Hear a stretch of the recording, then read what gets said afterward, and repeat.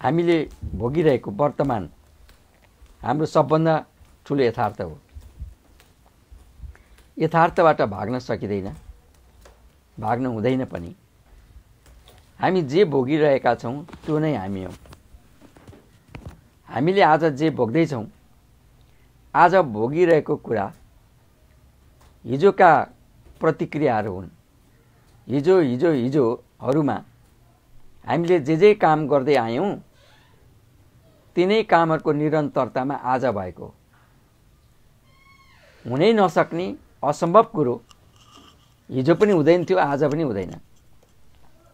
यदि केही आज भइरहेको छ भने त्यो हिजो हिजो हिजोहरूले निर्धारित गरेको कुरा आज भएको हो। हामीले हिजोलाई बिर्सेलाौँ पहिला पहिला के के हामीले प्रतिबद्धता गरेका थियौँ ती बिर्सिन्छौँ होला। तर हामीले बिर्से पनि समयले बिर्सेको हुँदैन।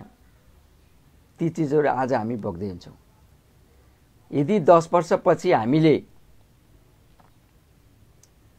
कुनै परिस्थितिसँग सामना गर्नु पर्यो भने त्यो आकस्मिक हुँदैन। बालकृष्ण समले उहिल्यै लेख्नुभएको थियो नियमित आकस्मिकता भन्ने कृति। त्यसमा उहाँले के लेख्नु भएको छ भने सबै कुरा नियमित रूपमा भइरहेका हुन्छन्। र त्यो नियमितताभित्र अकस्मात कुनै एउटा घटना हुन्छ। तर त्यो घटना त्यति बेला हुँदा अकस्मात लागे तापनि त्यसको पृष्ठभूमि चाहिँ धेरै लामो हुन्छ पहिलादेखिको। त्यो लामो कथावस्तुले बोकेर यहाँ ल्याएर त्यसलाई प्रस्तुत गरेको हुन्छ। भनेर बालकृष्ण समले नियमित आकस्मिकताको बारेमा एउटा यत्रो किताब लेखेको छ। नेपाली साहित्यमा दर्शनको एउटा कुनै सुन्दर किताब हो भने त्यो किताब हो। सुरुको। पछि धेरै किताब आएका छन्। तर बालकृष्ण समको नियमित आकस्मिकता एकदमै पठनीय कृति। पछिल्ला पाठकहरूले कति पढेका होलान् पछि पछिल्ला पुस्ताकाहरूले कति पढिरहेका होलान् नेपाली साहित्यमा लेखिएको कुनै आधुनिकतासँग विज्ञानसँग जोडेको आधुनिकतासँग जोडेको र पौराणिकता सब कुरालाई मिलाएर गरिएको व्याख्या विज्ञान सम्बद्ध व्याख्या जीवनको व्याख्या संसारको व्याख्या एउटा सुन्दर किताब हो त्यो। बालकृष्णसम्म विज्ञानको विद्यार्थी भएको हुनाले वैज्ञानिक ज्ञान समेत त्यसमा प्रस्तुत गरियो। बालकृष्ण समले त्यति बेला लेखेको त्यो किताबभन्दा आजको युग समय परिस्थिति विज्ञान कहाँ पुग्यो पुग्यो? जहाँ पुगे पनि त्यो दिनसम्म चाहिँ हाम्रा विद्वानहरू के के बुझ्दै थिए त संसारलाई भन्ने पनि हामी त्यसबाट थाहा पाउँछौँ। त्यसैले आज हामी केही भोगिरहेका छौँ भने त्यो आज होइन हिजो अस्ति अस्तिहरूको निरन्तरतामै हो। कुनै घटना आज घट्छ भने त्यो अस्तिदेखिको कारणले घटेको हो। त्यसकारण दस वर्षपछि केही नराम्रो घटना वा राम्रो घटना घट्छ भने त्यसको जिम्मेदार हामी आजै हुन्छौँ। आजैको पृष्ठभूमिबाट त्यो दिन त्यो घटना हुने हो। त्यसो भए सुन्दर भविष्यको लागि हामीले वर्तमानमै सोचेको हुनु पर्यो। हाम्रो आजको वर्तमान भोलिको भोलिको परिणाम हो। हामी कस्तो भोलि बनाउन चाहन्छौँ? हाम्रा सन्तानहरूलाई कस्तो दिन दिन चाहन्छौँ? कस्तो इतिहास दिन चाहन्छौँ? त्यसको निर्धारण आज हामीले गर्छौँ। जन्मिँदैका नानीहरूका निम्ति हामी उनीहरूलाई कस्तो युग हस्तान्तरण गर्न खोजिरहेका हुन्छौँ त्यसको जिम्मेदारी हामीले लिनुपर्छ। हामी जसलाई कल्पना भन्छौँ त्यो कल्पना पनि यिनै पदार्थसँग जोडिएका कुराहरूले मात्रै हामी कल्पनामा पुग्छौँ। हामीलाई कल्पना गर्न भाषाले मद्दत गरेको हुन्छ पूर्व अनुभवहरूले मद्दत गरेको हुन्छ। ती सब चिजहरूले हामीलाई कल्पना गर्न लगाउँछ। जस्तो हामीलाई धनी भएको हामीले कल्पना गरौँ त्यो कल्पना कहाँबाट आउँछ भन्दा अरू कुनै मान्छेहरू धनी भएको देखेर अरूले सुख पाएको देखेर हामीलाई पनि त्यस्तै हुने कल्पना हामी गर्छौँ। ठुला ठुला गाडी कुदाएका घर बनाएका सुविधा सम्पन्न भएको हामी कल्पना गर्छौँ। त्यो कल्पना हामीलाई त्यो अरूको देखेर अरूको वस्तुले हामीलाई कल्पना गर्न बाध्य बनायो। कुनै नसोचेका अकल्पनीय घटना भए भन्छौँ हामी। हामीले सोचेका थिएनौँ होला तर हाम्रो दस पुस्ता अगाडिका हाम्रा पुर्खाहरूले त्यसको पृष्ठभूमि त्यही दिन खनेका थियो होला आज त्यो प्रति आयो नि त। जिनको कुरा गर्छौँ नि जिन ट्रान्सफर हुन्छ। पुस्तौँ प प्रति पुस्ता। हजुरबा कति पुस्ता अगाडिका बाजे बराजुका चरि स्वभावहरू बानी बेहोराहरू रोगहरू दस पुस्ता पछाडिका सन्तानमा पनि देखा पर्छ। भनिन्छ। बिचमा आठ पुस्तामा देखिएन एकैचोटि दसौँ पुस्तामा देखियो। अब त्यो कहाँबाट आयो कहाँबाट आयो? भन्ने हुन्छ। हरेक चिजको निरन्तरता। जिनको पनि ट्रान्सफर ट्रान्सफर हुन्छ।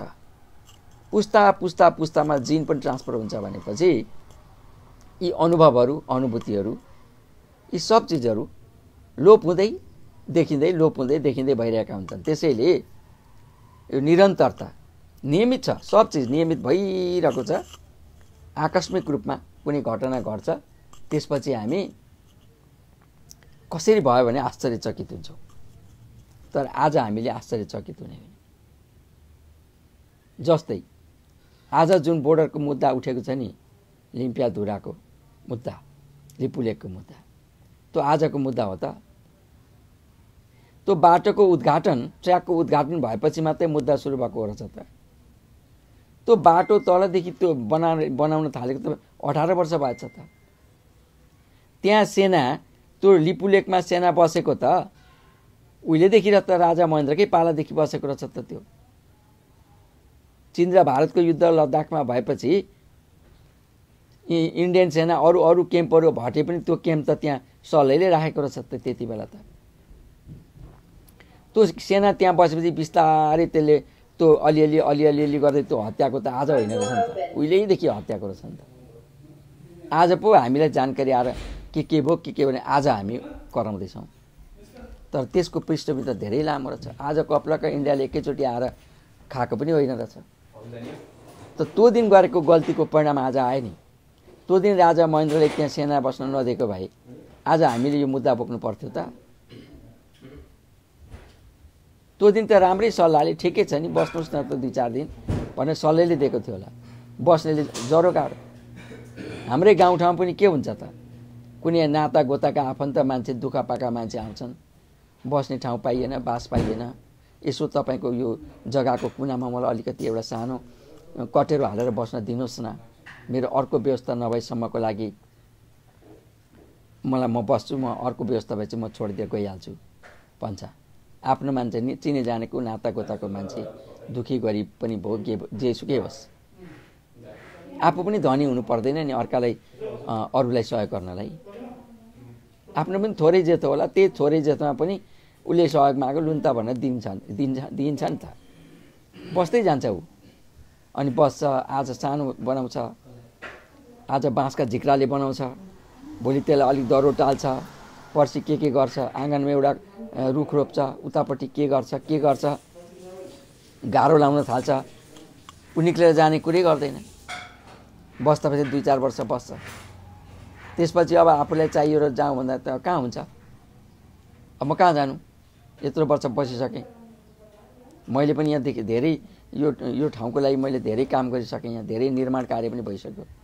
म त कहाँ जान्छु र अब त? मैले पनि त बस्न पाउनुपर्छ नि त।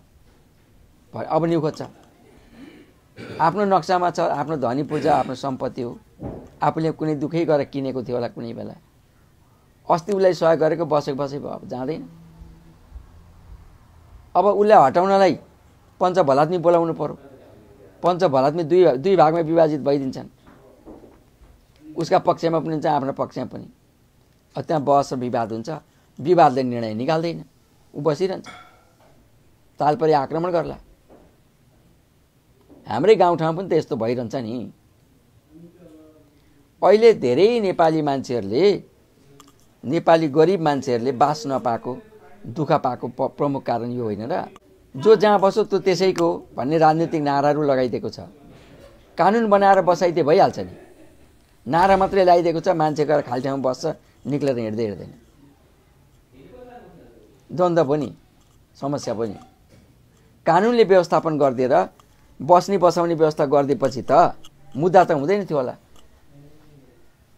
अब अहिले के हुन्छ भन्दाखेरि अब मान्छेले एकपल्ट मोयानी हक लाग्यो एक्काइस सालमा त्यसपछि त्यो मोयानी हक त्यहाँबाट कुनै कुनै तरिकाले मोही र मालिकलाई क्लियर गरियो। मोहीको भाग दिएर मालिकले आफ्नो भाग मोहीले आफ्नो भाग लियो। आफ्नो आफ्नो भयो। अब त्यो आफ्नो पा पारिसकेपछि त्यो जग्गा धनी जसले पहिला दिएको थियो त्यसले आफ्नो पाइसकेपछि अब दोस्रोपल्ट ऊ कसैलाई दिँदैन क्या? बाँझै छोडेको हुन्छ। देशभरि अहिले जग्गा कति बाँझा छन् हेर्नुहोस्। अनि बरु प्लटिङ गरेर छोडिदिन्छ। बाँझै हुन्छ सानो सानो सानो सानो प्लट गरेर छोडिदिन्छ। कुनै दिन बिक्ला भनेर बिकि पनि हाल्छ कहिले बिक्दैन तर प्लटिङ गर्छ। प्लटिङ गरेपछि त मेरो बिक्रीमा छ भन्नु पऱ्यो खाली जग्गा त होइन त्यो त। जग्गा बाँच्यो भयो उत्पादन देशको उत्पादन गयो। जो बस्यो त्यसको त्यो मालिक भइहाल्छ त अनि कसरी दिन्छ त अहिले? एक धुर धुरको मूल्य छ अहिले एक धुरकै लाखौँ रुपियाँ पर्छ। एक आनाकै लाखौँ रुपियाँ पर्छ अहिले। त्यो कुनै मान्छेलाई आएर बस्न दियो ऊ मालिक भइहाल्छ त अनि कसरी दिन्छ त उसले? दिँदैन। दिनै सक्दैन नि। उहिले पो जङ्गल फाँडेर धेरैले जग्गा जमिन कमा भेला गरेका थियो अहिले त कसैले जङ्गल जङ्गल फाँडेर अर्काको लुटेर त भेला गरेको हुँदैन नि त जग्गा त। अनेक गरेर किनेकै हुन्छ नि। आजभन्दा बिस वर्ष अगाडि दुई लाख रुपियाँ बिघा किन्यो होला। अहिले त्यो चाहिँ एक करोड रुपियाँ बिघा होला। तर त्यति बेलाको दुई लाख पनि त एक करोड जस्तै थियो होला नि त। त्यो त्यो भाउ बिक्रीमा। मान्छेलाई एकपल्ट बस्न दिएपछि उसले त्यहाँ कब्जा गर्न थाल्यो अनधिकार कब्जा गर्छ। त्यो अनधिकार कब्जाका कारणले गर्दा देशभित्रै गाउँ गाउँमा पनि मानिसहरूले बासै पाएका छैन जग्गा बाँझे छन् मान्छे सडकमा छन्। अर्काको व्यक्तिगत सम्पत्तिमा त जान त पाइँदैन कानुनले त त्यो दिँदैन। उसले अनुमति दिँदैन किनभने दया गरेर के आइलागिहाल्छ यो लिपुलेक भएको पनि त्यही त हो। ठुलै देश थियो होला। उसलाई त्यहाँ चिनसँगको झगडाले गर्दा चिनको नजिकमा एउटा क्याम्प उसलाई राख्न पऱ्यो। लु न हामीले सहयोग गर्नुहोस्। हामी एकदम मितारी मितारी हौँ साथीभाइ हौँ। एकदम हाम्रो सबै कुरा मिल्छ। हामी केही यो तपाईँको यो क्षेत्रमा हामी अरू केही गर्दैनौँ। हामी यसो क्याम्प राखेर गोठालो मात्रै हुन्छौँ। हाम्रो माथि सीमा विवाद छ। भने उसले भन्दा ठिकै हो त के फरक पर्छ त बसु न। भनेको होला नि त राजा महेन्द्रले पनि। राम्रो उदार मनले भनेको थियो होला नि। बस्दा बस्दै ला यो मोयानी हक आउँदै मोयानी हक होइन नक्सैमा निकालिदियो अब। यो त हाम्रो भन्थ्यो। जबकि सुगौली सन्धिका प्रमाणहरू हामीसँग छन् मालपोततिरका प्रमाण त्यहाँका मान्छेहरूका हाम्रा छन् हाम्रै भाषा नेपाली भाषा बोल्छन् हाम्रै सबै थोक मान्छन्। दुर्गम छ एक्लै कुरा हो। दुर्गम भएकोले प्रशासन समय समय पुग्न सकेन होला। दुर्गम हुँदैमा प्रशासनको पहुँच पुगेन भन्दैमा खाइदिन त मिल्दैन नि त त्यसो गर्दा। हिमाल सगरमाथामा पनि त हामी पुग्दैनौँ नि। कोही कोही पर्यटक पुग्छन्। कोही पनि आउँदैन तिमीहरूकामा यो हिमको के काम भनेर उता चिनले खाइदिनु त सगरमाथा त त के हुँदो रहेछ भन्दाखेरि निरन्तरता। कुनै दिन गरेको गल्ती पुस्ताहरूले बाबु बराजीहरूले कुनै दिन गल्ती गऱ्यो भने त्यो गल्तीको निरन्तरता आजका पुस्ताले भोग्दो रहेछन्। हामीले भोगिरहेका रहेछौँ। अब हामीले आज कुनै गल्ती गऱ्यौँ भने आउने आउने हाम्रा भविष्यका सन्तानहरूले त्यो गल्तीको सजाय तिनले भोग्छन्। ती मर्छन्। राजा महेन्द्रले त्यहाँ सेना राख्न दिए। यदि आज भारत र नेपालको युद्ध भयो भने को मर्छ? आजको हामी मर्छौँ नि। त्यो दिनको गल्तीले आज मान्छे मरेन। यो पृष्ठभूमि किन के भनेर बाँधेको भने नि आज चाहिँ गणतन्त्र दिवस हो। नेपालमा गणतन्त्र आएको बाह्र वर्ष भयो। बाह्र वर्षलाई एक जुग पनि भनिन्छ। पहिला पहिला हाम्रा पुराणतिर एउटा लामो कसैलाई दण्ड सजाय दिनु पऱ्यो भने बाह्र वर्षको दिन्थ्यो जस्तो कि पाण्डवहरूलाई बाह्र वर्ष वनवास पठाइयो। एक वर्ष गुप्तवास तेह्र वर्ष भयो। रामहरूलाई पनि चौध वर्षको वनवास पठाइयो। भन्नाले बाह्र तेह्र चौध यो यो अवधिलाई चाहिँ एउटा लामो युग मानिएको छ त्यति बेला पनि। कसैलाई कुनै प्रकारको दण्ड दिनु पऱ्यो भने पनि कति हदैसम्म दिए कति दिनु पर्दो रहेछ त भन्दा बाह्र वर्ष। अर्थात् बाह्र वर्षमा एउटा युगै बाह्र वर्षलाई पनि एउटा एक जुग पनि भने भन्छन्। भन्नाले बाह्र वर्षमा धेरै कुराहरू पुराना धेरै कुराहरू सकिएर नयाँ चिज भइसक्छ। अर्कै समय आइसक्छ बाह्र वर्षमा। रात रह्यो अग्राक पलायो भने जस्तो। अग्राक एकदमै ढिलो बढ्ने चिज हो र लामो समयसम्म रहने वृक्ष हो अग्राक भने। साल भन्छ सकुवा पनि भन्छ त्यसलाई। त्यो एकदमै ढिलो बढ्छ धेरै समय बाँच्ने चिजको उन के अरे त्यो भौतिक विकास पनि ढिलो हुन्छ। छिटो छोट छोटै समयमा आयु भनेको छिटो बढ्छ छिटै सकिन्छ। त रात रह्यो अग्लाक अग्राक पलायो। रात बित्यो रात रात रह्यो भने त्यो अग्राक पनि पलाउँछ। त्यो ढिलो भयो भने त्यो अग्राक छिटो नपलाउने चिज पनि पलाउँछ भन्ने उखान हो त्यो। भन्नाले बाह्र वर्षमा धेरै चिज हुन्छ हामीले पनि गणतन्त्रको बाह्र वर्ष पुरा गऱ्यौँ। आजदेखि तेह्र वर्ष सुरु भयो। यो बाह्र वर्षमा हामीले के के गऱ्यौँ त? भनेर बाह्र वर्षको समीक्षा पनि त गर्ने भइरहेको छ अहिले। पार्टीहरूले गरे होलान् सरकारहरूले गरे होलान् बुद्धिजीवीहरूले गरे होलान् इतिहासकारहरूले गरेका होलान् पत्रकारहरूले गरिरहेका होलान्। हामी सर्वसाधारण पनि गरिरहेका छौँ। अब धेरै जसो हामीसँग यो बाह्र वर्षको अनुभव चाहिँ नकारात्मक छ। असन्तोषपूर्ण छ। केही भएको जस्तो हामीलाई लागेको छैन। हामीले हामी पहिलो त्यही पुस्ता नि यो बाह्र वर्षसम्म अहिले छ। करिब करिब त्यही पुस्ता छ। जुन पुस्ताले पञ्चायतको विरुद्ध लडाइँ लड्यो जुन पुस्ताले जनयुद्ध पनि लड्यो अर्को पुस्ता गणतन्त्रमा पनि कुदो। छत्तिस सालदेखि त्रिसठी सालसम्म तिनवटा पुस्ता कुदेका छन्। त्योभन्दा अगाडिको कुरै नगरौँ सात साल सत्र सालतिरको त कुरा नगर तिन पुस्ता कुदेको छ। युद्धमा। त्यो त छ छँदैछ सत्रकै पुस्ता छ अझै लडाइँमा सत्र सालकै पुस्ता छ। सत्र सालदेखि सतहत्तर सालसम्म आइपुग्दा यही बिचमा बौद्धल आयो पञ्चायत आयो बौद्धल आयो त्यसपछि गणतन्त्र आयो। ठुला ठुला तिन राजनीतिक घटना भए ती तिन राजनीतिक घटनाका बिचको जीवनशैलीमा चेतनामा विकास निर्माणका अवधिमा के के भए त के के फरक कुरा भए त भनेर हेऱ्यो भने सत्रदेखि सत्ताइसको दस वर्षमा चाहिँ स्पष्ट रूपमा कामहरू भएको देखिन्छ। नेपालको इतिहासमा।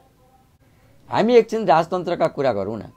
एउटा समय थियो संसारभरि राजै राजा थिए। जति बेला यो लोकतन्त्र गणतन्त्र प्रजातन्त्र यस्ता खालका कुराहरूको विचारको विकासै भएको थिएन त्यति बेला संसारभरि राजै राजाहरू थिए। राजाको मुख नै कानुन थियो।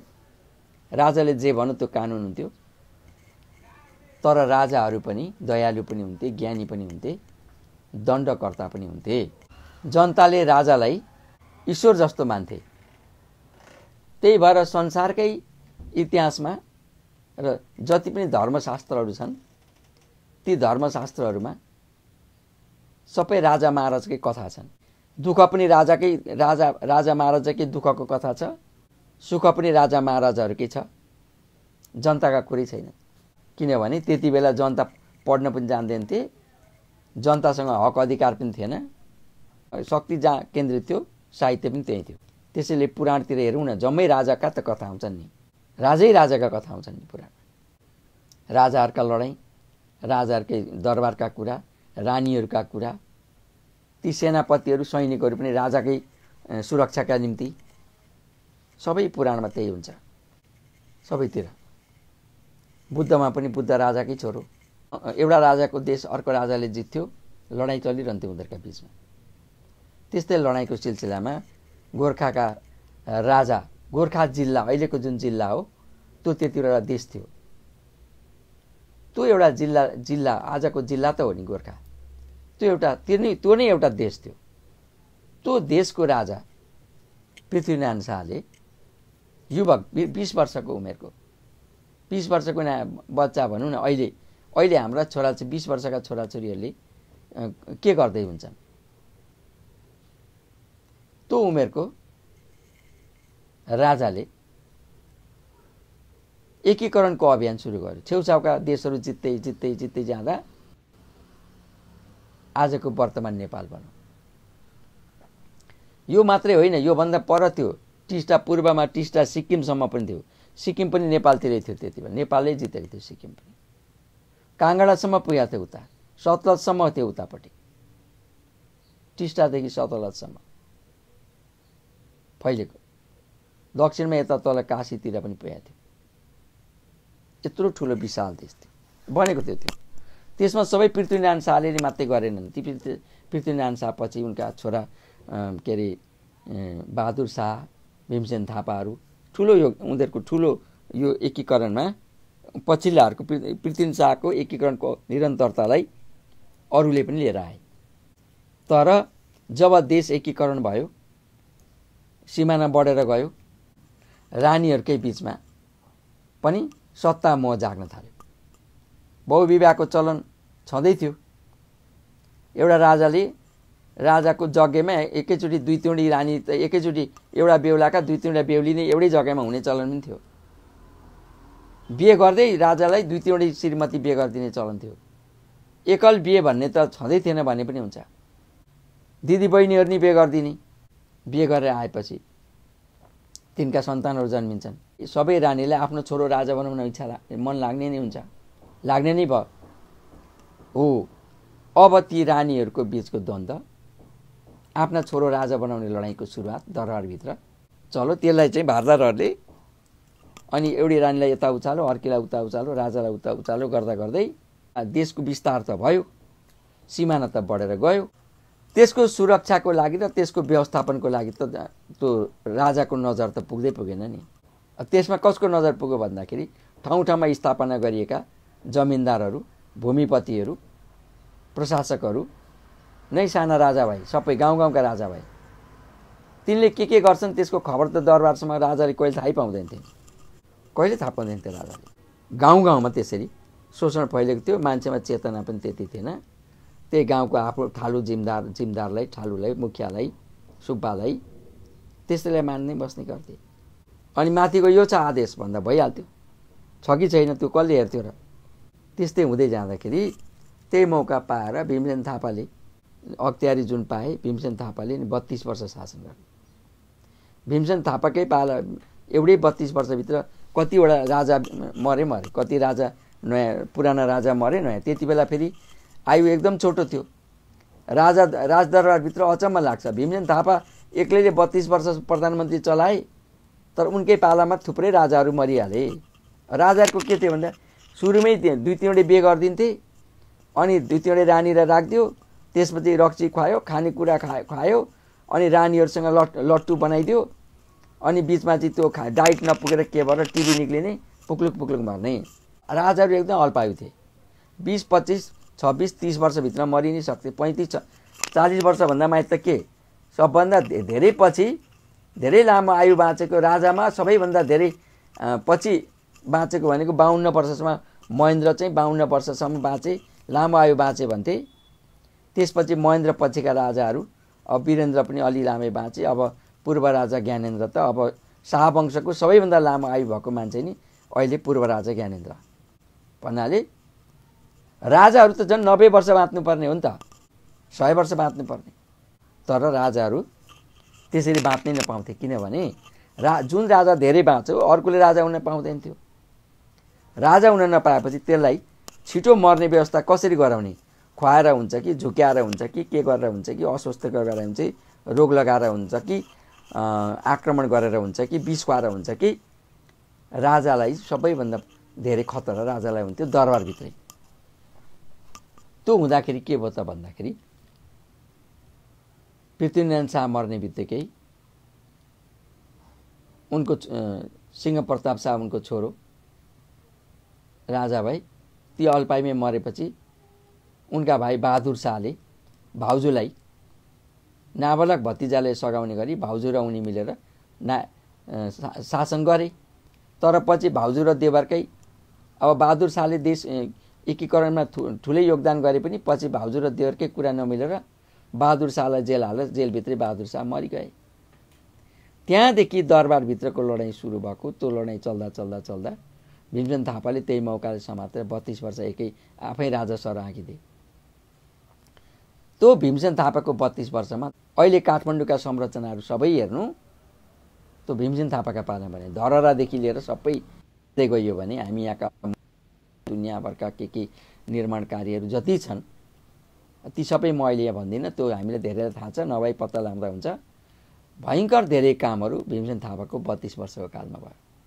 विकासका कामहरू भनौँ न त्यति बेलाको शैलीको विकास भीमसेन थापाको पालामा भीमसेन थापाको अन्त्यपछि फेरि त्यस्तो शक्तिशाली अर्को मान्छे उदय हुन सकेन। नसकेपछि खच्याङ र मच्याङ फेरि मारामार काटाकाट दुनियाँभरको हुने भयो। फेरि सत्ता लिप्सा दुनियाँ थियो हुँदा हुँदै हुँदै गयो। त्यही बिचमा एउटा त्यस्तै खेलभित्रबाट फेरि भीमसेन थापा उदय भयो जस्तो। जङ्गबहादुर उदय भयो जङ्गबहादुर उदय भएपछि जङ्गबहादुरले त आफ्नो वंशलाई नै उनले त राज दुईवटा वंश सँगसँगै चलाइदिए। एउटा राजवंश एउटा राणा वंश आफूपछि आफ्ना छोराहरू प्रधानमन्त्री हुने छोरापछि नाति हुने नातिपछि अनि भाइका छोराहरू हुने खालका यस्ता विभिन्न रोल क्रमहरू बस्न थाल्यो त्यहाँ। अब दरबार त माथि अड्किहाल्यो। दरबारले राजा रानी त कोफीमा खोपीमा पुग्यो उनीहरूको अधिकार छैन। श्रीतिन भनेर छाप लिइहाले श्रीतिनले सबै राज्य चलाउने राजा रानी घरभित्र बस्ने भने राजा रानीको हक अधिकार सकिगयो। अब राणा परिवारमा सरेपछि राणा परिवारमा पनि सत्ता लिप्साको हानान। त्यहाँ पनि पृथ्वीनारायण शाहकै अन्त्य जस्तै भएको छ जङ्गबहादुरको अन्त्य। जङ्गबहादुर मरेपछि अब जङ्गबहादुरको छोरो जगजङको पालो थियो। अब रण रणदीप रणदीप सिंह प्रधानमन्त्री भए। अब वीर शमशेरलाई चाहियो। वीर शमशेरले भित्रभित्रै षड्यन्त्र गरेर उनलाई पनि मा मारिदिए अनि जङ्गबहादुरको छोराहरूलाई पनि मारिदिए नातिहरूलाई जङ्गबहादुरको परिवारै साफ गरिदिए। वीर शमशेर आफू भए। हो अब एउटाले अर्कालाई मारेर आफू हुने निरन्तरतासँगै अघि बढ्दै जाँदा। फेरि चन्द्र शमशेर आए। चन्द्र शमशेरले अठाइस वर्ष शासन गरे भीमसेन थापाको जस्तै। र चन्द्र शमशेरका पालामा केही कामहरू भए। समाज सुधारका काम पनि भए जस्तो दास प्रथा हटो सती प्रथा हटो त्रिचन्द्र कलेज बने शिक्षाको क्षेत्रमा पनि समाज सुधारमा इत्यादि विभिन्न कुरामा चन्द्र शमशेरको पालामा उनले एक छत्त अठाइस वर्ष काम गर्दाखेरि उनले धेरै काम गरे। त्यही बिचमा अब धेरै उनीहरूका परिवारभित्र पनि भए चन्द्र शमशेरको अन्त्यपछि फेरि गजाङ र गुजुङ भयो। त्यति त्यो अवधिभरिमा देशभित्र के गर्ने? देशमा के कसो गर्ने भन्ने त छँदै थिएन खालि कसरी टिक्ने भन्ने नै लडाइँ थियो त्यो लडाइँकै क्रममा एबिसीका के अरे राणा परिवारभित्र चाहिँ रोल क्रम खडा गरेपछि त्यही राणा परिवारबाटै विद्रोही गरेर निक्लेका सुवर्ण शमशेरहरू महावीर शमशेरहरूको एउटा नेतृत्व र ती भित्रको विद्रोहबाट जनस्तरबाट विद्रोही भएर निक्लेका कोइराला परि कृष्ण प्रसाद कोइराला र उनका परिवारहरूको कोइराला परिवारहरूको विद्रोहबाट दुईवटा पार्टी गठन भएर एउटा तिन सालमा भयो एउटा पाँच सालमा भयो। दुईवटा पार्टी गठन भए अनि छ सालमा दुइटै पार्टी मिलेर आन्दोलन गर्दा सात सालमा त राणा शासन हट्यो। त्यो राणा शासन हटाउनमा जनस्तरको सबै योगदान बिपी कोइरालाको छ आर्थिक योगदान। सुवर्ण शमशेर र महावीर शमशेरको छ।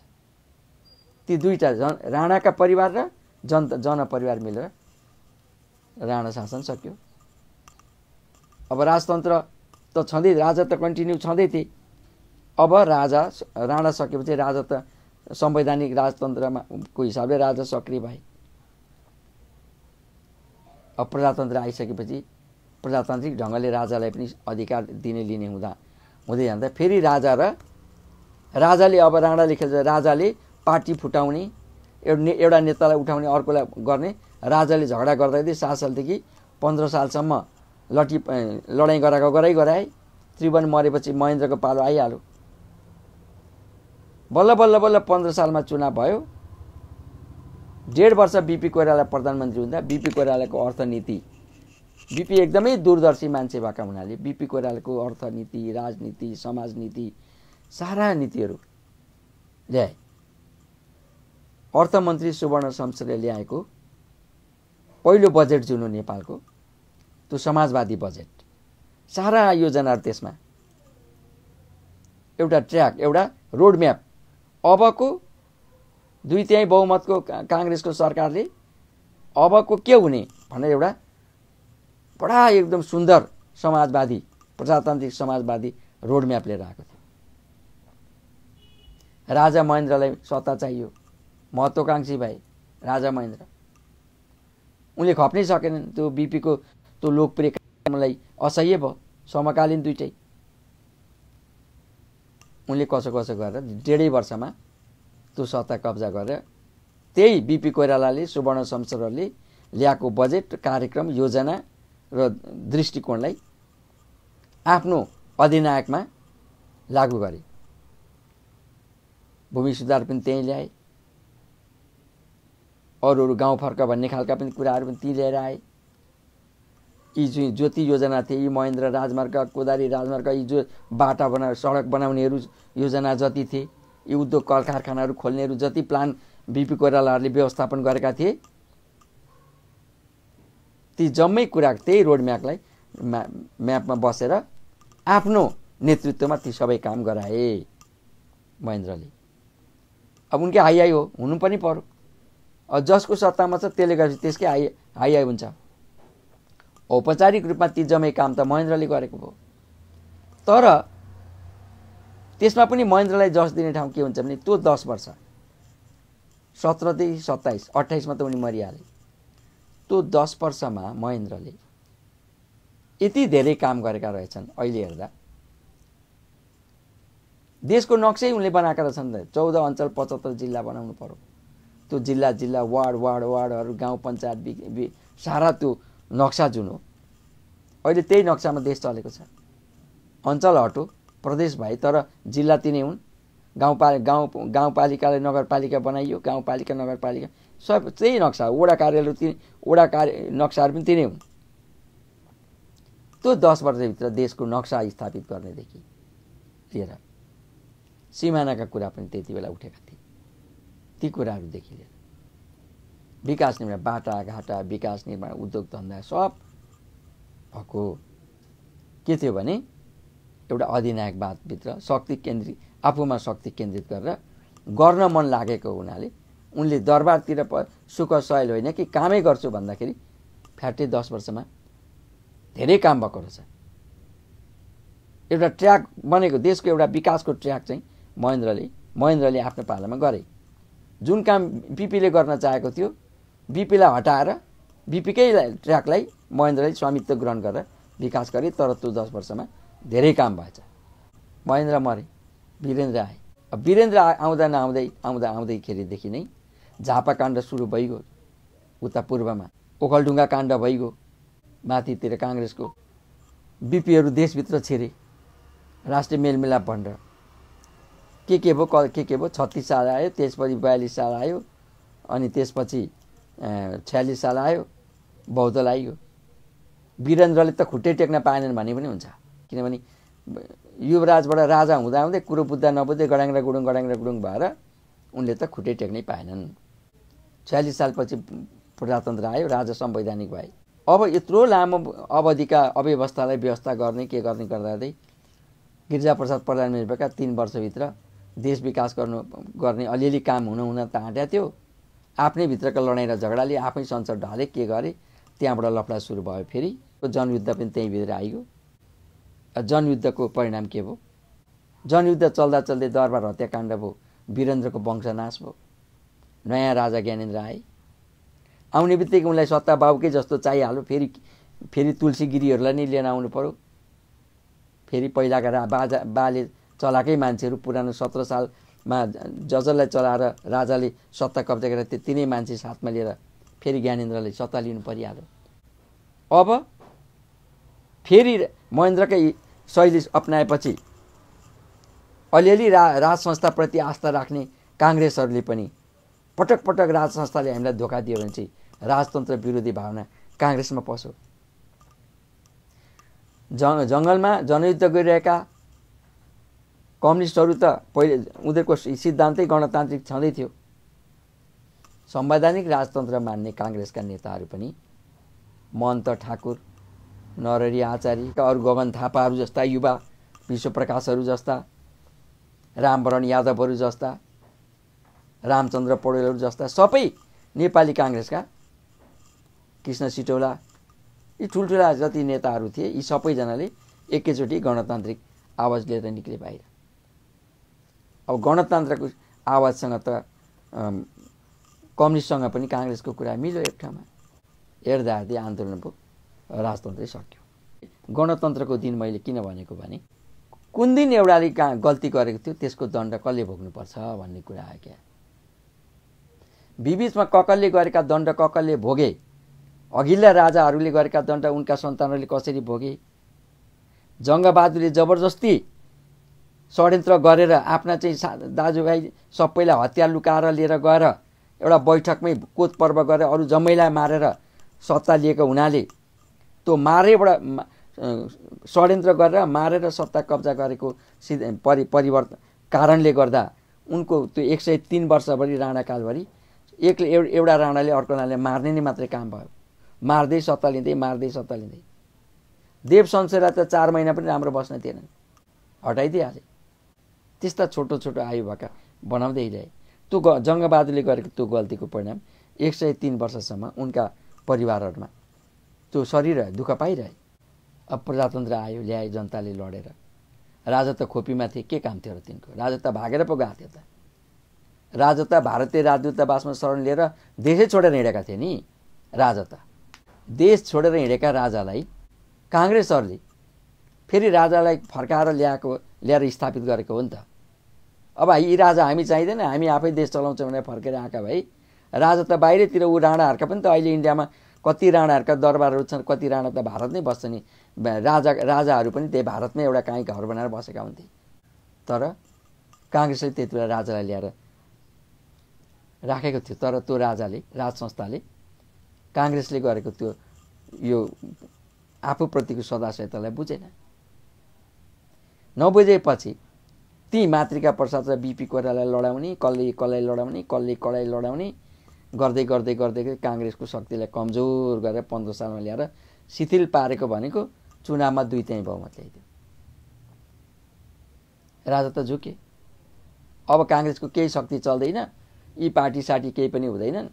अब सक्रिय हुन्छ भनेको त दुई त्यहीँ बहुमत ल्याइदियो। अब हटाउन नसकिने भयो। संविधान बनिसकेको थिएन। राम्रोसँगले। अनि त्यस्तै संविधानको कमजोर एउटा धारा समातेर सत्ता कब्जा गरे महेन्द्रले। महेन्द्रले त्यो दिन दुई हजार सत्र साल पुसे गते जुन गल्ती गरे त्यसको परिणाम देशमा गणतन्त्र आयो। उनले आफ्ना शाखा सन्तानलाई हजारौँ वर्ष नेपालको राज संस्थामा निरन्तरता दिन उनले चाहेका भए त्यही दिन उनी संवैधानिक भएर बसेका भए यो बिचमा यत्रो लडाइँ हुने थिएन यत्रो समय बर्बाद पनि हुने थिएन।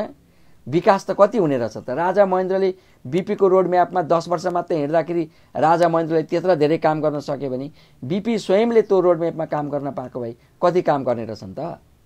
कति छिटो कसरी विकास हुन्थ्यो होला त? नेपालमा कम्युनिस्टहरू उत्पादन भएको पनि त त्यही असन्तुष्टिले त हो नि। बाहिरबाट आएका होइनन् चिनबाट रुसबाट आएका होइनन्। तिनै नेपाली जनताका छोराहरू विद्रोह गरेर असन्तुष्टिबाट यो यो सत्ता फाल्नलाई कुन बाटो लाग्नुपर्छ भन्दा त्यो बाटोले फाल्न सकिन्छ भने त्यता लागेका त हुने। राजा महेन्द्रले नेपाली काङ्ग्रेसको सत्ता कमजोर पा शक्ति कमजोर पार्न प्यारालाल शक्ति कम्युनिस्ट शक्ति शक्तिलाई पनि भित्रभित्रैबाट प्रोत्साहन गरे। बाहिर ठुला दलहरू प्रतिबन्धित छन्। विश्वविद्यालयमा चाहिँ विद्यार्थी युनियनहरू छन् अन्य राष्ट्र छन् नेभी सङ्घ छन् मण्डलीहरू पनि छन्। विद्यार्थीमा चाहिँ राजनीतिको अभ्यास गर्न पाइने चुनाव लड्न पाइने युनियन खोल्न पाइने त काङ्ग्रेसी र त कम्युनिस्ट भन्न पाइने खरानी र गोबर हुन पाइने।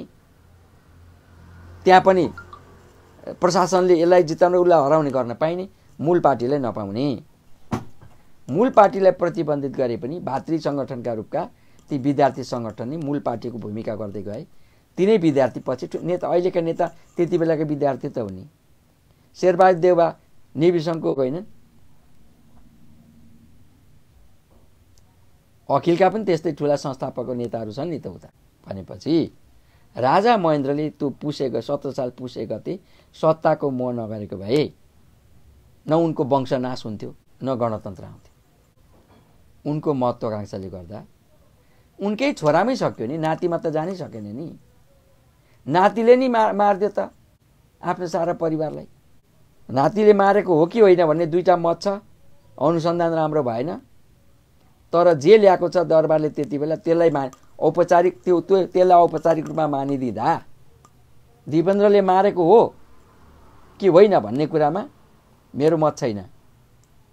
हो पनि भन्न सक्दिनँ होइन पनि भन्न सक्दिनँ किनभने हामीसँग केही पनि आधारै छैन। तर विश्लेषण गरेर जाँदा दिपेन्द्रले मारेको हो जस्तो लाग्दैन। किन लाग्दैन भने जुन दरबारभित्र गोली चलेको र मान्छे मरेका थिए राजा ज्ञानेन्द्र आउने बित्तिकै त्यो दरबारको जगैसँग त्यो दरबार भत्काइयो। सारा प्रमाण नै नष्ट गरियो। त्यसलाई त यस्ताका यस्तै राखेर त्यो अनुसन्धानको लागि प्रमाणको रूपमा त्यसलाई त झन् ठुलो बनाएर राखेर देशभित्रका देश बाहिरका अनुसन्धाताहरू ल्याएर र देशभित्रबाट सकिने विदेशबाट भए पनि मगाएर ल्याएर अपराधी पत्ता लगाउने का काममा राजा ज्ञानेन्द्रको जुन योगदान हुनु पर्थ्यो त्यसको बदला त्यो प्रमाण मेट्ने काम त उनीहरूले गरे। त्यसैले गर्दा दिपेन्द्रले मारेको हो मारेको होइन भन्ने बहस विवाद जे रहे तापनि शङ्काको घेरामा राजा ज्ञानेन्द्र पनि जहिले पनि छन्। इतिहास लेखकले लेख्न स्वतन्त्र छन्। विभिन्न लेखकले लेख्दा लेख्दै जाँदाखेरि एक दिन इतिहासले चाहिँ त्यो कलङ्क ज्ञानेन्द्रकालाई पनि अलिअलि कलङ्क चाहिँ छोडेकै हुन्छ छोडिसकेको छ। जानेर नजानेर उनले चाहिँ शुद्ध मनले गरे अप अपराधी मनले गरे त्यो उनलाई थाहा होला। तर राजा महेन्द्रले दुई हजार सत्र साल पुस एक गते जुन विष वृक्ष रोपे त्यो विष वृक्ष हुर्केर जाँदा आत्मघाती भयो बुमेराङ भयो आफैतिर फर्क्यो दरबारतिर फर्क्यो आफ्नै सन्तानतिर फर्क्यो सबै नासी। दरबारभित्र बाहिरका मान्छे गएर मारेनन् उनीहरूकै अन्तर्कलली दरबार सक्यो। तर त्यसपछि बनेका राजा ज्ञानेन्द्रलाई त जनताले फाले नि त। राजा ज्ञानेन्द्रलाई जनताले फाल्न पर्ने कारण के त? त्यो राजाकै गल्ती हो। लोकतन्त्र आएकै थियो संवैधानिक राजतन्त्र भएर बसेकै थिए। म बाबु महेन्द्रको जस्तो हुने उनले लोभ नगरेका भए काङ्ग्रेसले त गणतन्त्रमा आएकै थिएन नि। केपीले काङ्ग्रेस पनि गणतन्त्रको पक्षमा नआउन्जेलसम्म गणतन्त्रको कुरा गर्नु भनेको गुडुगाडा चढ्यो अमेरिका जानु जस्तो भनेर भनेको थियो कि थिएन। काङ्ग्रेस सहमत नभएसम्म गणतन्त्र हुन सक्दैन भनेर त केपी ओलीले पनि त्यति बेला भाषण गर्नुभएको थियो। कम्युनिस्टहरूलाई थाहा थियो हामीले मात्रै कराएर गणतन्त्र हुँदैन। किनभने यो गणतन्त्रका लागि देशी विदेशी सबै शक्तिहरूको समर्थन चाहिन्छ। नेपालको सबभन्दा ठुलो परम्परावादी शक्ति काङ्ग्रेस हो। त्यो तयार हुनु पर्यो छिमेकी राष्ट्रहरूले पनि सुक एउटा सत्ता पल्टाउने कुरामा समर्थन असमर्थनको प्रश्न आउला। आवाज त कम्युनिस्टहरूले उठाइरहेका थिए। तर कम्युनिस्टहरूले उठाएको गणतन्त्रको आवाजलाई नारामा राजाहरूले नै काङ्ग्रेसलाई पनि जबरजस्ती लगेर त्यो खोरमा हालिदिए नि त। अनि काङ्ग्रेसले पनि गणतन्त्रको आवाज उठाइसक्दा त राजा चाहिँ केले टिक्नुपर्ने थियो त? जनयुद्ध पनि विसर्जनकै अवस्थाका अवस्था भएको बेलामा जनयुद्ध पनि स्थगित भएको हो। गणतन्त्र नआएको भए पनि जनयुद्ध एउटा सम्झौतामा आउने स्थितिमा थिए। प्रचण्ड बाबुरामहरूको अहिलेको अभिव्यक्तिले थाहा पाइन्छ उनीहरू पनि थिए। किनभने प्रचण्डले आफै बोलेका छन्। हामीसँग जम्मा चार हजार सेना छन् तर हामीले बिस हजार भनिदिएका छौँ। भने आफ्नै मुखले भनेको भिडियो त अहिले पनि खोज्यो पनि भेट्न सकिन्छ नि त। आखिर चार हजार जनसेना लिएर देशै कब्जा गर्छु भनेर हिँडिरहेको अवस्था रहेछ नि त। पहिला थियो भने घट्यो होला नि कि पछि के जम्मा चार हजार त सेना रहेछ नि त। सेना समायोजन गर्ने बेलामा गोप्य मिटिङमा प्रचण्डले गरेको भाषणमा के भनेको छ हामीसँग जम्मा चार हजार जनसेना सेना त चार हजार थिए तर हामीले बिस हजार भन्यौँ। भनेको छ नि त त्यहाँ भने जनयुद्ध पनि सम्झौताको बिन्दुमा आउने बेला भइसकेको रहेछ। त काङ्ग्रेस गण गणतन्त्रमा नगएको भए ज्ञानेन्द्रले पनि आज माथि त्यो डाँडामा गएर बस्नुपर्ने रहेनछ नि त। राजा त राजै थिए नि त। के भएको? थियो स्वीकारेकै थियो नि जनताले? पैसा हालेर यसरी पैसा त माधव नेपालीजीले पनि चढाएकै हो नि त। राजाको अस्तित्व स्वीकार गरेर प्रधानमन्त्रीमा निवेदन दिन माधव नेपाल आफै पनि प्रधानमन्त्रीको निवेदन नियुक्ति पाऊँ भनेर निवेदन दिन त जानुभएको हो नि त। मानेको रहेछ नि त। के पुगेन त राजा ज्ञानेन्द्रलाई? भने गणतन्त्र आउनुमा राज संस्था जानुमा जनताले राजालाई त्यसै ठेलेको होइन। ऊ आफै गएका हुन्। महेन्द्रले सत्र सालमा रोपेको बिस वृक्षको निरन्तरता ज्ञानेन्द्रले दिन खोज्दा राज संस्थाको नियमित आकस्मिकता। गणतन्त्र घोषणा आकस्मिक होला तर त्यो नियमित थियो। उहिलेदेखि थियो त्यो। पृथ्वीनारायण शाहले एकीकरण गरेकै दिनदेखि यो गणतन्त्रको गणतन्त्रतिरको यात्रा प्रारम्भ भइसकेको थियो। मुगल साम्राज्य कति सय वर्षसम्म चले छ सात सय वर्षसम्म मुगल राजाहरूले शासन गरे। मुगलहरूका विकास निर्माणका इतिहासमा हेरौँ न कति काम भएका छन्। राजा महाराजा बादशाहहरूले नराम्रै मात्रै काम शोषण मात्रै गरेका हुन्थ्यो त उहिले। आज गणतन्त्र प्रजातन्त्रको सुरु भएको विश्वमा कति वर्ष पर कति सय वर्ष पर त्योभन्दा अगाडि योसम्म आउन्जेलसम्म यो विश्वलाई लिएर आएको उनीहरूले त हुने। चिनको ग्रेट वाल कुनै लोकतन्त्र कम्युनिस्ट शासन आएपछि चिनको ग्रेट वाल बनेको त होइन नि? त्यो पनि कुनै राजाले बनाएको हो नि त। त्यत्रो ग्रेट वाल राजाले राजैले बनायो राजैको शासनमा बन्यो नि त त्यो त। हाम्रा देशका कृष्ण मन्दिर पशुपतिनाथका मन्दिरहरू देखेर यी मल्लकालीन मन्दिर मन्दिरहरू लिच्छवीकालीन मल्लकालीन राजाहरूका पालामा बनेका विकास निर्माणका कामहरू भने राजाले के क्या कम काम गरेका थिए त? तर पछिल्ला शाहहरूका पालामा देखाउन योग्य निर्माण कार्य चाहिँ के भएको रहेछ त? खोइ। यी त अहिले भएका काठमाडौँका मठ मन्दिर त सबै म लिच्छवीकालीन र मल्लकालीन त हुन् नि। शाहकालीन के हुन्? शाहकालमा त शाहले केही गर्नै पाएनन्। राणाकालीन भनौँ। राणाहरूले आफ्ना आफ्ना दरबार बनाए। सिंहदरबार पनि चन्द्र शमशेरले आफू बस्न त बनाएको हो नि। सत्ता खुस्किया दिन आज जनताको भएको छ। यी काठमाडौँका ठुला ठुला सबै दरबारहरू त राणाहरूले आफू बस्न आफू मस्ती गर्न बनाएका हुन्। देश विकास गर्न दरबार बनाएका होइनन् नि। एक सय तिन वर्षसम्म राणाले के गरेछ आफैलाई मात्रै गरेछ आ देश लुटेर आफै मात्रै धनी भएछ सके। यत्रो वर्षपछि प्राप्त भएको जनताले लडेर जनताले त्यत्रो ठुलो एक सय तिन वर्षदेखिको त्यो एउटा सत्ता पारा प्यारालाल सत्ता सिरी तिन त्यसलाई उखेलेर जनताले हतियार लिएर गोली चलाएर छाती थापेर त्यसलाई हटाएर आफू पनि शरणार्थी भएर उहाँ विदेशमा पुगेको मान्छेलाई उठाएर ल्याएर राजगतिमा राखेको राज संस्थाले। त्यो जनताप्रति उत्तरदायी हुनु पर्दैन। जनताले भनेको मान्नुपर्ने थिएन। जनताहरू आफ्नो सुखको लागि काम गर्न चाहन्थे नि त। ल तिमीहरू गएर हामीलाई पनि ठिक छ भनेको भए। जनताले त दे खोपीको देउता बनाएर राखेका थिए त। सोध्न गइहाल्थे। राम्रो थियो त। सत्ता चाहियो। शक्ति। त्यो शक्तिले महेन्द्रलाई जुन शक्ति चाहियो उनले दस वर्ष जम्मा दस वर्ष काम गर्न पाए। अहिले भनिन्छ महेन्द्र पनि कालगतिले मरेका होइनन् भन्ने प्रश्नहरू आइरहेको हुन्छ हृदय गति बन्द भयो हार्ट एट्याक भयो भनेको छ। तर त्यो हार्ट एट्याकको पछाडि पनि महेन्द्रमाथि पनि षड्यन्त्र भएको थियो। उनी त त्यति सहजै मर्नेवाला थिएनन् भन्ने पनि कुराहरू आइरहेको हुन्छ त्यसको तथ्य के कति हो त्यो बिस्तारै निक्लेला के होला थाहा छैन। ननिक्लिन पनि सक्छ किनभने सिधै गोली भट्ट गोली हानेर दरबारका सबै मान्छे साफ गरेको त अहिलेसम्म हिसाब निक्लेन भने एउटा हार्ट एट्याक भएर मरेको महेन्द्रको हिसाब चाहिँ कसरी निक्लिन्छ त? महेन्द्र पनि आफ्नो कालगतिले मरेको होइन भन्छन्। यदि महेन्द्रले त्यो सत्ता मोह नगरेका भए महेन्द्रकोले मर्नुपर्ने थिएन। जनताले लोकतान्त्रिक ढङ्गले प्रजातान्त्रिक ढङ्गले जनताले शासन गरिरहन्थे राजाको हातमा त्यत्रो ठुलो त्यो शासन हुँदैन थियो उनका शत्रु नै हुने थिएनन्।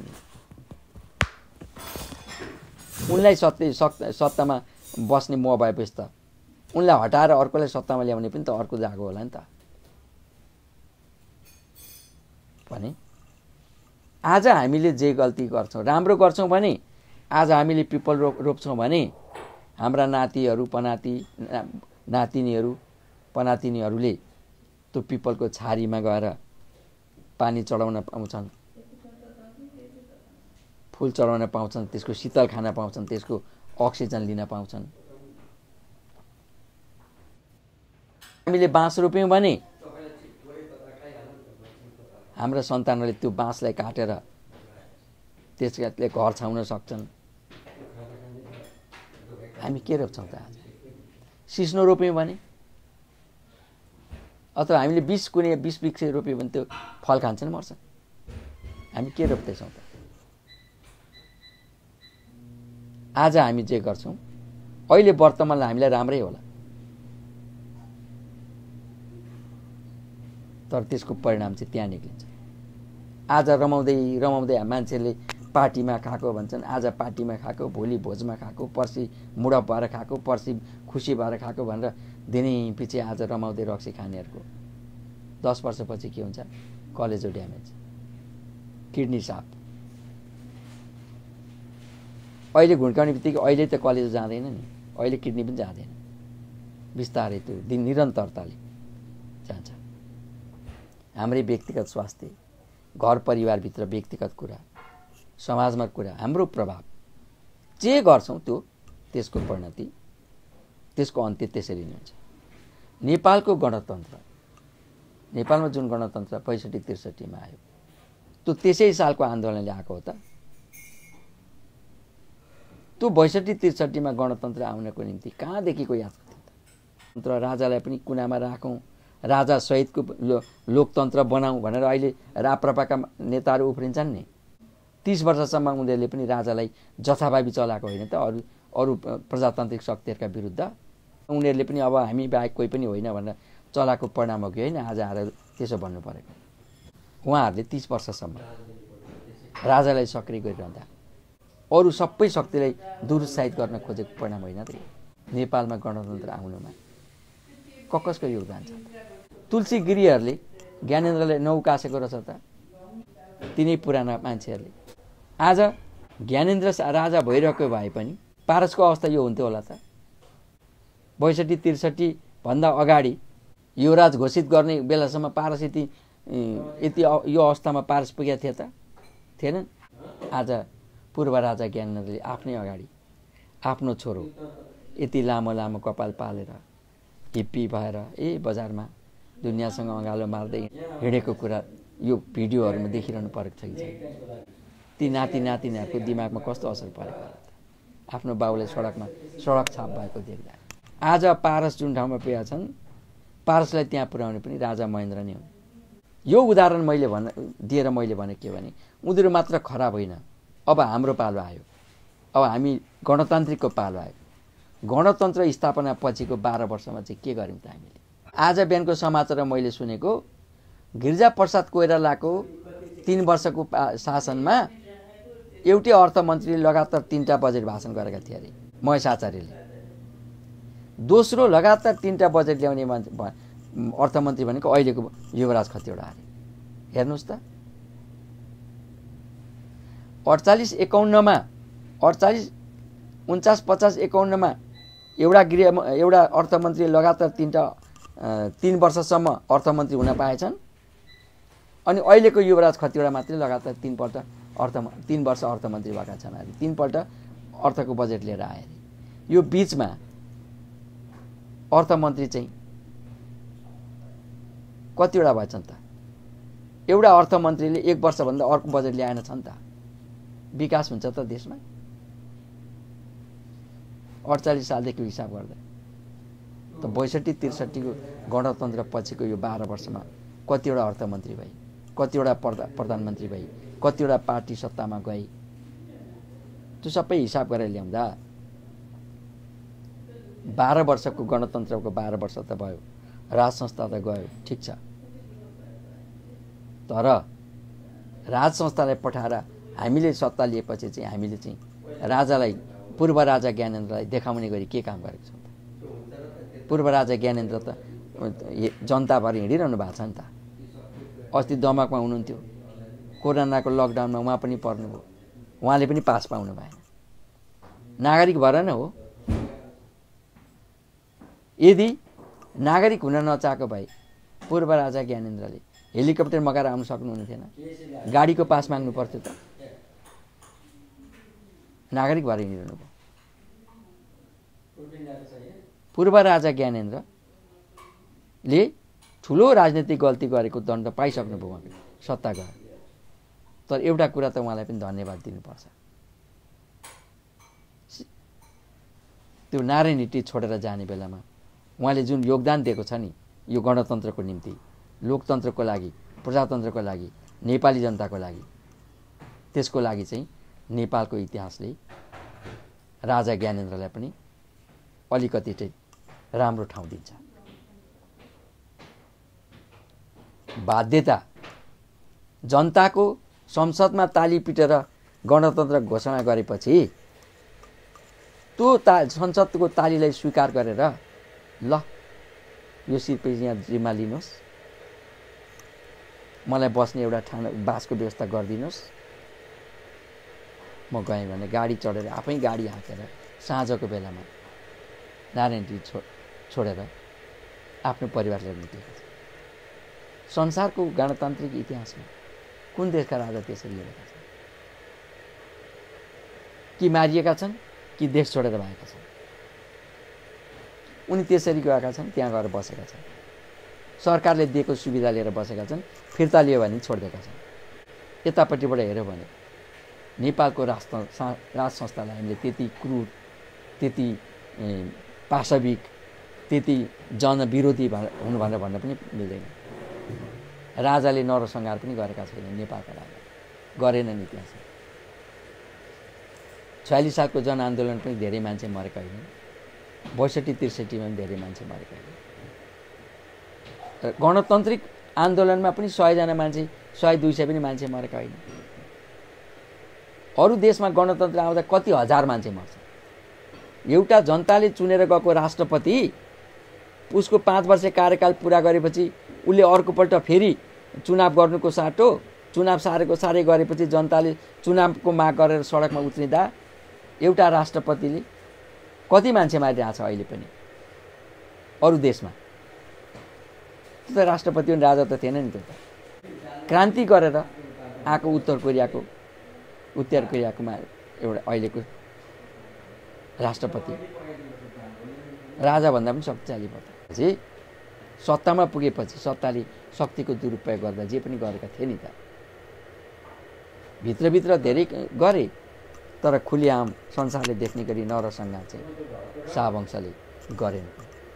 र निरपेक्ष भएर विश्लेषण गर्ने हो भने नेपालको राजतन्त्रले सक्रिय शासन गरेको भनेको त्यही महेन्द्रको दस वर्ष मात्रै त्यति उनीहरूले गर्न पाएको। बाँकी त थपनै मात्रै हुन्। के के गर्न खोज्छन् के के गर्न खोज्छन् केही पनि भएन। चिप्ले चिप्ले अढाई दुई अढाई सय वर्ष उनीहरूको त्यसै तैपनि जनताको हातमा शासन आइसकेपछि राजाले फिर्ता लान खोज्नु हुँदैन। त्यो गल्ती महेन्द्रले गरे। महेन्द्रले गरेको त्यो गल्तीले पञ्चायती व्यवस्था मात्रै गएन। दरबार हत्याकाण्ड भयो। ज्ञानेन्द्रले गरेको गल्तीले गणतन्त्र। जनतालाई त फाइदै भयो। जनतालाई गणतन्त्र आयो। जनतालाई नाफै नाफा भयो। तर उनीहरूको पक्षबाट हेर्दा उनीहरूलाई चाहिँ कति घाटा भयो अब अहिले ज्ञानेन्द्रको छोराकै हालत त्यो छ। अब नातिहरू त अब नागरिकै भइहाल्यो नि। नातिहरू त कुनै व्यापार बिजनेसमा जालान् पढ्दै गयो भने डाक्टर इन्जिनियर होलान् वैज्ञानिक होलान्।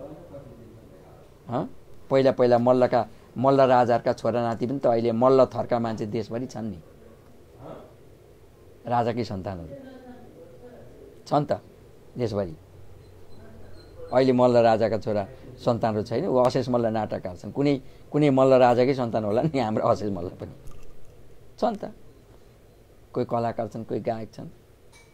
अब शाहहरू पनि त्यस्तै हुने हुन् पछि। हुन्छ। तर इतिहासको विश्लेषण गरेर आए पनि। आज गणतन्त्र दिवसको उपलक्ष्यमा गणतन्त्रको पृष्ठभूमि यसरी गणतन्त्र आयो भन्ने मलाई लाग्छ। तर गणतन्त्र पछि राजतन्त्र गयो गणतन्त्र गणतन्त्रको स्थायित्व चाहिँ अब हामीले कति दिँदैछौँ त भन्ने प्रश्न चाहिँ यहाँनिर छ नि कुनै पनि राजनीतिक शक्ति शक्तिको पतन चाहिँ कहाँ हुन्छ भने त्यसको अन्तरसङ्घर्षले हुन्छ। दुई त्यहीँ बहुमत ल्याएको काङ्ग्रेसलाई राजाले हटाइदिए। दुई त्यहीँ करिब करिब दुई त्यहीँ बहुमतको अवस्थामा आएको अहिलेको कम्युनिस्ट पार्टी कम्युनिस्ट पार्टीको सरकारलाई। आफै नेता लडाइँ गरेर यसलाई हटाउन आँटिसकेको थियो। अस्ति भर्खर त हट्नै यो ढल्नै आँटिसकेको थियो होला। पार्टी फुट्नै आँटिसकेको थियो। आफै आफै उम्लेर नि दुध उम्ले जस्तो। यो अहिलेको दुई त्यहीँ बहुमत जनतालाई दिएको बहुमतको सरकारले आफ्नो कार्यकाल पुरा गरेन भने यो पनि एउटा ठुलो दुर्भाग्य हुन्छ नेपालको राजनीतिमा। अर्को ठुलो राजनैतिक दुर्घटना हुन्छ। राजतन्त्र फर्केर आउँछ भन्ने त मलाई लाग्दैन। दुई तिन कारणले फर्किँदैन। एउटा जनताले नै हटाएको हुन् जनता नै अहिले राजा माग्ने अवस्थामा छैन। माग्दैनन् राजा। किनभने राजा भएकै बेला पनि के नै गरेको थियो र ती राजा ल्याउँदा के हुन्छ र? आउनुपर्ने यिनै यिनै अहिलेका वर्तमान ज्ञानेन्द्र नै आउनुपर्ने हो। पारसको त आउने कुरै आएन। पारसको पनि छोरो भनेको त ती पारसका छोरा त कत्रा छन् के छन्? उनलाई के थाहा छ? ती ती राजा हुँदा पनि कति वर्षका हुन्छन्? तिनले दे अहिलेको अहिलेको नेपालको राजा भएर तिनले यो नेपालको के गर्न सक्लान् त बिचरा? साना बच्चाले। भनेपछि त्यो आउने अवस्था छैन। राजा ज्ञानेन्द्रको ज्ञानेन्द्र उमेर र स्वास्थ्यको हिसाबले पनि अब फेरि दोहोऱ्याएर आउने लडाइँमा लडाइँ गर्ने अवस्थामा पनि छन् जस्तो लाग्दैन। बरु देश घुमिराखेका छन् मठ मन्दिर गइराखेका छन् बेला बेला राष्ट्रका नाममा सन्देशहरू एउटा नागरिकको हैसियतले देशको कल्याण होस् सीमा विवाद नहोस् कुनै के होस् सबैको राम्रो होस् भनेर शुभकामना दिइरहेछन् मलाई नि ल्याऊ भनेको छैन।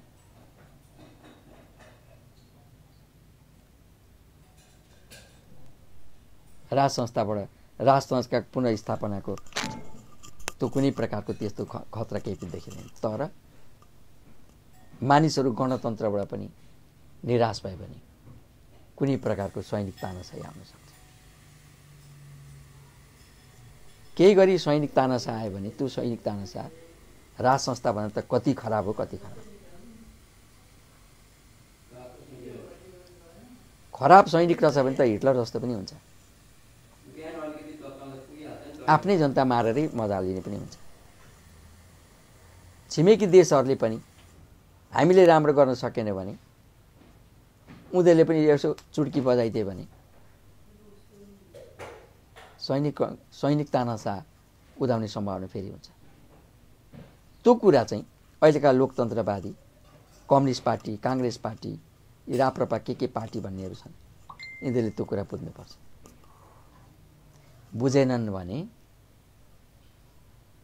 कुनै सैनिक तानासा दैलाको ठेलामा उम्पिरहेको देख्छु म। लोकतन्त्रले बाह्र वर्ष के अरे गणतन्त्रले बाह्र वर्ष पुऱ्यायो। यही यस्तै अनन्त बाह्र वर्षहरू यो गणतन्त्रले पुर्याए लोकतान्त्रिक गणतन्त्रले अनन्तसम्म यो देशमा काम गर्न पाउनु पर्छ। त्यसको लागि लोकतान्त्रिक शक्तिहरूले के गर्नु पर्यो त भन्दा?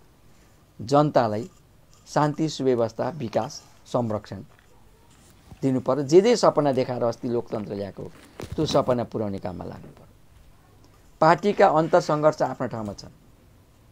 एउटा पार्टीले अर्को पार्टीलाई जित्न खोज्नुपर्छ। तर आफ्नै पार्टीभित्र अन्तर्घात गरेर लडिरहनु हो त? अब प्रचण्डको गल्ती हो कि केपिएलको गल्ती हो त्यो उहाँहरू जान्नुहोस्। तपाईँहरूको लडाइँसँग हामी जनतालाई मतलब भएन।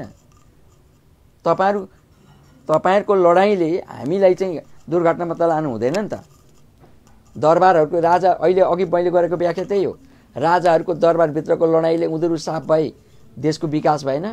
राणाहरूको दरबारको आपस आपसको लडाइँले उनीहरू साफ भए जनताको विकास भएन।